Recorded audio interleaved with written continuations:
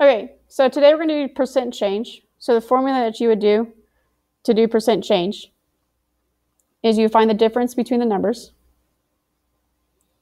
put it over the original, set equal to the percentage over 100.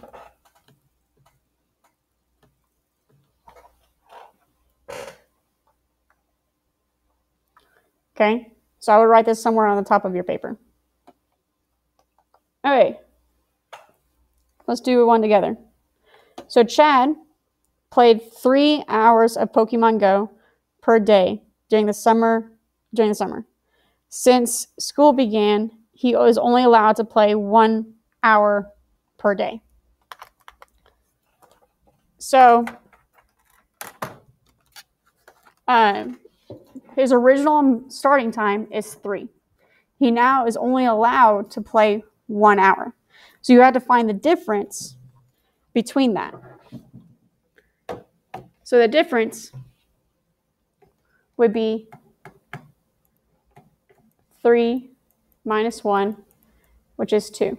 So then you would set it up 2 over 3, which equals x over 100. So you would cross multiply, you get 3x equals 200. Divide 3 to both sides. You get x is equal to 66.6 repeating. All right, Karen has seven Eevees in her Pokemon stash. She transfers some into the professor, and now she only has two Eevees. So her starting point 7 minus 2 is 5. So you do 5 over 7, which equals x over 100. So you get 7x equals 500. So you divide 500 by 7, which is 71.43, which you rounded up. Okay, now you try one. It takes 200 coins to get a bag upgrade in Pokemon Go. The creators decided to throw a sale on a bag upgrades. For one day only, anybody can upgrade their bag to, for 125 coins. So you would do 200 minus 1, 125, and you get a difference of 75. Put it over the original out of 200, set it equal to x over 100. And when you uh, found your answer, you would get 37.5%. All right, Dustin only has 11 Pokeballs. To collect more, he went to a few Poke spots and now has 33. So you would do 11 minus 33, and you get negative 22. Well, you need to find the absolute value of that, so it'd just be 22. So it'd be 22 over 11, which equals x over 100. So you get 11x is equal to 2200. You divide by 11 to both sides, and you get 200. So it'd be a 200% increase. Okay, let's try another one. Jose began the day with eight Magikarps. After spending the day at the lake, he ended up with 16. So you do 8 minus 16, which is negative 8. Find the absolute value of that, which is 8. So it'd be 8 over 8, which is one whole, which is equal to x over 100%, which I know that would have to be 100.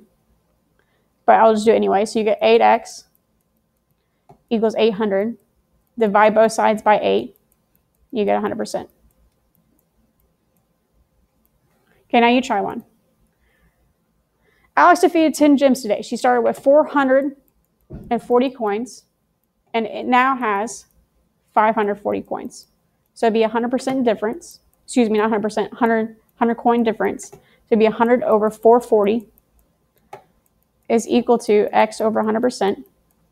When you cross multiply and divide, you get 22.7, which you round up to 23%. Becky's Vaporeon is at CP level of 1645. She decided to power it up for 3% increase. So I would do X over 1,645 because I don't know how much is being, um, I don't know what the new level is. So then I would do 3% over 100. I would then do 3 times six, uh, 1,645, which is 44,935, is equal to 100x.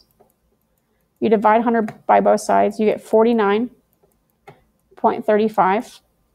And that's how much it's increasing by. Since it's increasing by that much, you would take with what you started with and subtract it. No, excuse me, add it. I'm thinking about the next problem. When you add it, you get 1,694.35. Okay, now you try one. James started with 22 Super Bowls and decreased his stash by 15%. So it'd be X over 22 is equal to 15 over 100. Once you solve this proportion, you will get 33.3. Well, you can't decrease 3.3 Super Bowls, so you have to round to the nearest whole number, which is 3. So then you would do 22 minus 3, which is 19. So you would have 19 Super Bowls now. Thank you, guys.